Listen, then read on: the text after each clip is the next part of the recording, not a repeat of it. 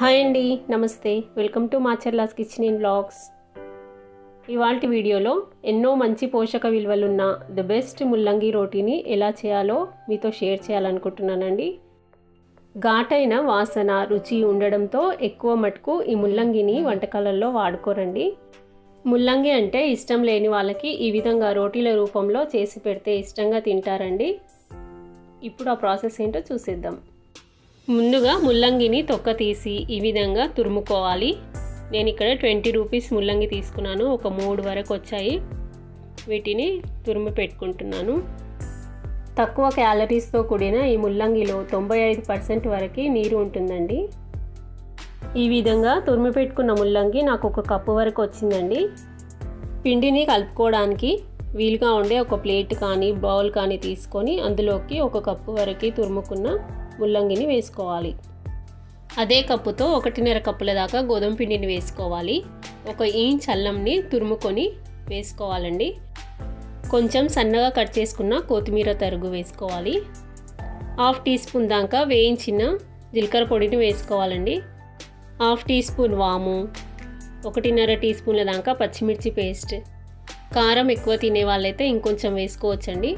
పావు tea spoon దాకా పసుపుని వేసుకోవాలి. అలాగే రుచికి సరిపడినంత ఉప్పుని కూడా వేసుకొని మీ దగ్గర నువ్వులు ఉంటే కూడా ఒక స్పూన్ దాకా వేసుకోవచ్చండి. ఇవన్నీ పిండిలో కలిసేట్టుగా ఒకసారి మొత్తం కలుపుకోవాలి. ఈ పిండిని కలపడానికి ఒక్క చుక్క నీళ్ళు కూడా అవసరం పడేయండి. ఎందుకంటే ఈ ర్యాడిష్లో ఉండే వాటరే దీనికి సరిపోతాయి. వీడియోలో చూపిస్తున్నట్టుగా పిండిని ఇలా స్క్వీజ్ చేస్తూ ముద్దలాగా అయ్యే వరకు కలుపుకోవాలండి. ఈ రోటీలను చేసేవాళ్ళు ఫస్ట్ టైం చేసినట్టయితే ఈ పిండి గట్టిగా ఉందని కొంచెం నీళ్ళని కనుక వేశారంటే పిండి లూజ్ అయిపోతుందండి. ఈ విధంగా సగం పిండిని కలుపుకున్న తర్వాత అదే ప్లేట్లో పక్కన పెట్టుకోవాలి. ప్లేట్లో ఉన్న పొడి పిండిని కూడా ఒక ముద్దలాగా చేసుకొని ఈ రెండు ముద్దల్ని ఒక్క దగ్గర పెట్టేసి మళ్ళీ పిండిని మొత్తం కలుపుకోవాలి. చపాతీ పిండి ముద్దలాగా అయ్యే వరకు ముల్లంగిని మన డైట్లో చేర్చుకోవడం వల్ల రక్తానికి ఆక్సిజన్ సరఫరా చేస్తుందండి. అలాగే జీర్ణశక్తిని కూడా మెరుగుపరుస్తుంది. చూడండి నేను ఇందులో అస్సలు ఒక చుక్క కూడా నీళ్ళు వాడలేనండి. ఇలా కలుపుకున్న తర్వాత ఒక స్పూన్ దాకా ఆయిల్ని వేసుకొని మళ్ళీ ఒకసారి కలుపుకోవాలి. ఒక రెండు మూడు నిమిషాల తర్వాత పిండిని మళ్ళీ ఒకసారి కలుపుకోవాలండి. తర్వాత కొంచెం పిండిని తీసుకొని రౌండ్గా బాల్స్ లాగా చేసి పెట్టుకోవాలండి.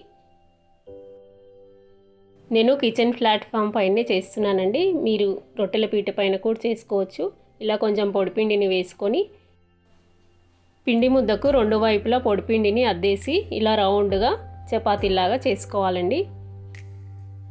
మీకు కావాలంటే ఇలానే పెనం పైన రోటీలను కాల్చుకోవచ్చండి.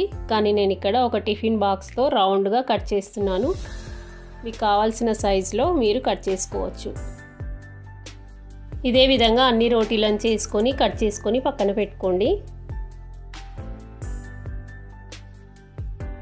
స్టవ్ పైన పెనం పెట్టుకొని అది కొంచెం వేడైన తర్వాత మనం చేసి పెట్టుకున్న ముల్లంగి రోటీలని కాల్చుకోవాలండి. ఒకవైపు అర నిమిషం పాటు కాల్చిన తర్వాత తిరిగేసి మరొక వైపు కూడా అర నిమిషం పాటు ఉంచి కాల్చుకోవాలండి. తర్వాత నెయ్యిని అప్లై చేసుకొని రెండు వైపులా ఫ్రై చేసుకోవాలి. ఈ రోటీని హై ఫ్లేమ్ మీదే కాల్చండి. సిమ్లో పెట్టి కాలిస్తే గట్టిగా అవుతాయండి. ఇదే విధంగా అన్ని రోటీలను చేసుకొని సర్వింగ్ ప్లేట్లోకి తీసుకోండి. ఈ రాడిష్ రోటీలని స్కూల్ లంచ్ బాక్స్లో పెట్టొచ్చండి. లేదంటే బ్రేక్ఫాస్ట్ లంచ్ డిన్నర్లోకి ఎప్పుడైనా సరే చేసుకోవచ్చండి.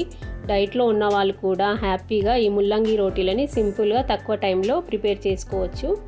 నేనైతే ఇక్కడ టమాటో సాస్తో సర్వ్ చేస్తున్నాను. Thanks for watching.